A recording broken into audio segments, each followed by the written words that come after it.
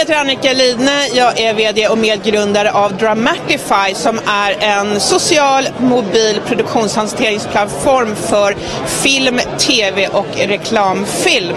Vi jobbar reklam, eh, vi jobbar globalt med ungefär 50 miljarder eh, dollar som investeras varje år i film och tv-produktioner. Så vår marknad är faktiskt ungefär plus 100 miljoner dollar varje år. Och vi har faktiskt bara tre konkurrenter i världen. Och man kan säga att Dramatify är lite grann som projektplatsen eller basecamp för film och tv-branschen. För att det är så här man jobbar idag. Papper, papper, papper. Och det tar väldigt mycket tid. Så vi hjälper en tv-produktion till exempel kunna spara två till tre personers tjänster bara genom att vi har bättre ordning. Eh, vi sparar massor med träd, ungefär 30 000 kronor per filminspelning i bara papperskostnad. Så vi hjälper den här branschen att bli moderna helt enkelt.